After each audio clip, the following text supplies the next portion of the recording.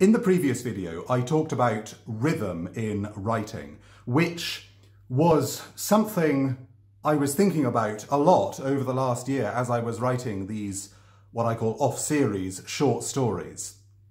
Something else that I was thinking about a lot as I was writing those, another topic that I was thinking about, was what I call symmetry in storytelling.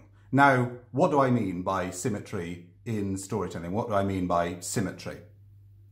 Well, the definition that I've come up with, which is perhaps not a perfect definition, it might not encompass everything that um, one might consider symmetry or that I might consider symmetry.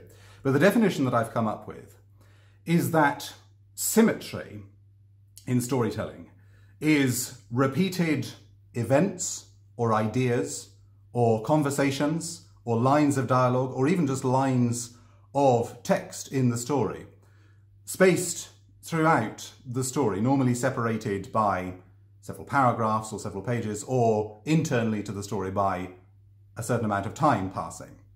Um, it's this repeated events and ideas and dialogue, essentially.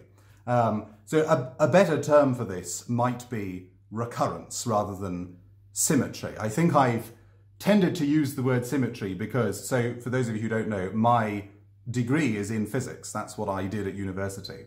Um, and as such, I still have a certain amount of residual physics knowledge. And sometimes I use words from physics to describe things outside of physics. And I think that's where I've gotten the word symmetry from here. I think I borrowed it from physics.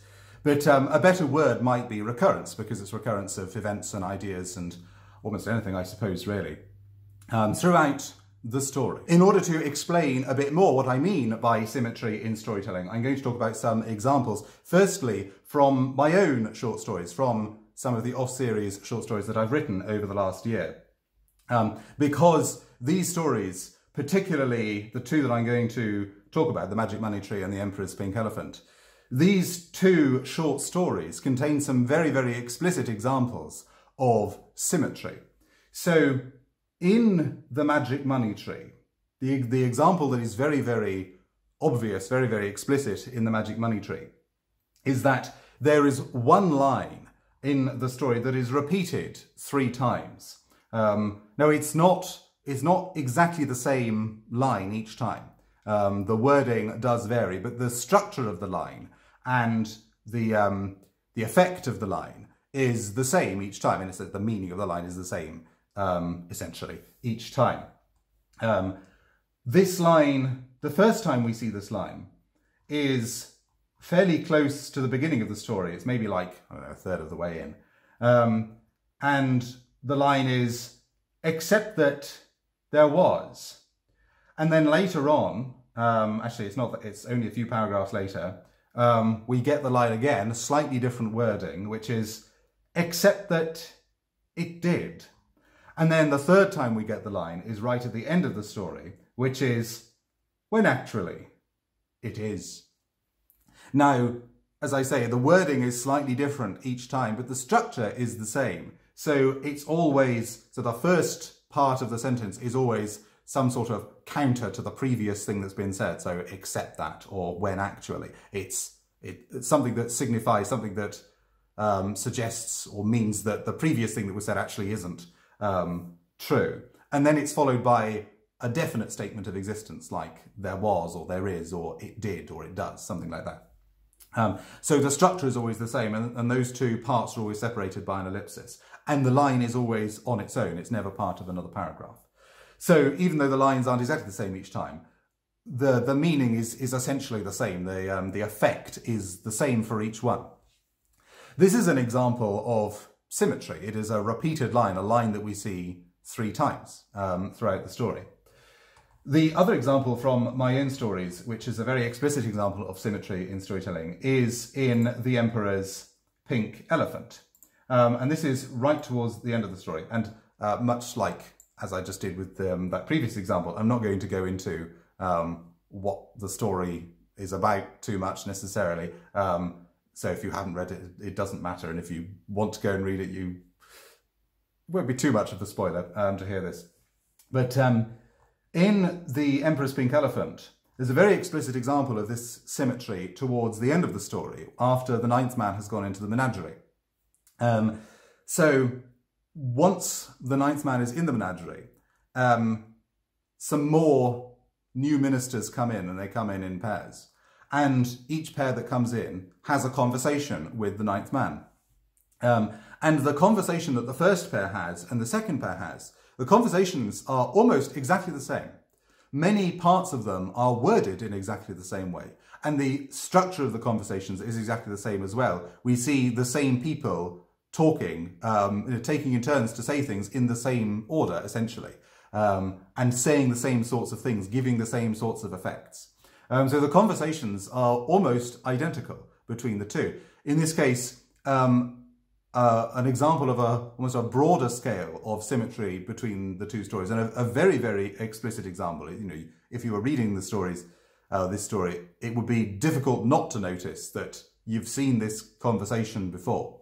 Um, and actually, throughout The Emperor's Pink Elephant, there are many, many examples of repeated lines, or repeated lines where some only something um, very slight is changed. There's only a very slight change between the two. So this is another example of symmetry. In this case, repeated dialogue, repeated conversations, the, the, essentially the whole conversation is the same. Um, as I've been pondering this topic of symmetry in storytelling over the last week or so, um, I've realized that there is actually um, an example, a sort of general example of symmetry in storytelling that we're all very familiar with because we see it all the time in film and television. And that's when, um, so early on in the story, the antagonist might say something to the protagonist and they, maybe they say in some very smug or evil or condescending way, this you know very identifiable line that they say to the protagonist. And then later on in the story, at the opportune moment, the protagonist will repeat it back to the antagonist to prove a point or because it has now become ironic. This is something that we see all the time in film and television. It's a very common trope. Um, and a, an example of it, a, a, an explicit, definite example of it, is in, and I say this because I've been, I rewatched the Harry Potter films recently, um, an example of this is in the fifth Harry Potter film, where to, uh, early on in the story, um, Dolores Umbridge tells Harry that he must not tell lies, and Harry has to write on the parchment in, in detention with the quill, um, I must not tell lies. And then later on in the story, at a time when Dolores Umbridge wants Harry to tell a lie, um, but Harry has no interest in helping out Umbridge, um, Harry then repeats the line back to her. He says, sorry, Professor, I must not tell lies. Um, this is an example of symmetry. It is a, re a, repeated line, a repeated idea in the story, separated by a certain amount of time. Um, so this is something we see a lot in in storytelling. Even um, uh, this is something we see very explicit examples of a lot. Um, so that's what symmetry is. That's what I mean by this not particularly well chosen word, symmetry. But why is symmetry valuable? Um, why? What's the point in adding it to a story? Why bother? Um, what does it add to a story? Um, well, in simple terms, expressed simply, symmetry is satisfying.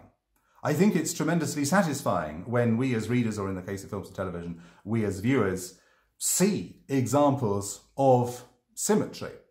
Um, and I think the reason for this is tremendously simple. It's that symmetry or recurrence is ultimately just a form of pattern. It's just a pattern in the story.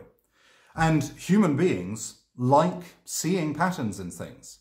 Um, because when we look at something and, and we see a pattern, we get this sense that we understand it and that we can predict what's going to happen in future or that we, we, uh, we, we get the world, we know the sorts of things that are going to happen. That's why we like seeing patterns. And symmetry really is just patterns within a story. Um, and, and that is, I think, why it's particularly valuable to add to a story. There are many different things that can be satisfying in a story um, when we're talking about written stories. often the main thing that's thought of as being a source of satisfaction in a story is a thrilling plot or a suspense and a sense of mystery. And these are certainly tremendously important things. But there are other things that can be satisfying as well and be sources of satisfaction as well. One of those things is symmetry. And another thing, like I said in the last video, um, is rhythm. Now, as I say, there are different kinds of symmetry within stories, different scales of symmetry. And I think whether or not it's valuable to add symmetry to a story depends very much, like the case with rhythm in writing, um, depends very much on the style of the story. And I say this about almost everything. Um, so much depends on the style of story that you're writing. Um, I think symmetry, again, much like with rhythm, symmetry is something that suits shorter stories better, more so than uh, like tremendously long novels. Um, and it really suits, I think, the sort of parable-like stories. Like all, all, four of these off-series short stories that I've done are sort of quite parable-like in um, their their style. Um, and I think symmetry does suit those kind of stories a lot uh, more. So it's something that you can put into some kind of stories, but not others. I think, I mean, certainly this kind of dialogue-based symmetry. Um, you know, repeated conversations or lines of dialogue, particularly repeated conversations. A repeated conversation is tremendously conspicuous. I think it sort of works fine in these um, parable-like stories where there is a kind of surreal mood to the story anyway, and there's this sense that um, things don't follow this sort of perfectly realist um, sequence of events or, or like way of working that certain, you know, well, certain aspects of it don't in the way that the real world does. Whereas longer stories, sort of, you know, epic fantasy, any kind of epic story, um, tends to lean more towards realism. Um, and if you had repeated, you know, conversations in that that are almost identical, this would be tremendously conspicuous. It would be tremendously obvious as you, the reader, or you, the viewer. So I think it is something that suits certain styles more than others. But it can be a tremendously valuable thing to add. It can be a tremendous source of satisfaction. So I think it is for certain kinds of story, for certain styles of story, it is a, a tremendously valuable thing to do. Um, that's my thoughts. Those are my thoughts on symmetry in storytelling. If you are an author or you like to write stories, is this something that you try to put into your stories? Is this something you try to do? If so, are there other ways of doing this? Are there other techniques or other forms of symmetry in storytelling? Let me know down in the comments below. If you liked this video um, and you want to see more videos about um, the writing process in general and my stories and my books, um, then there will be more such videos coming in future. So consider subscribing.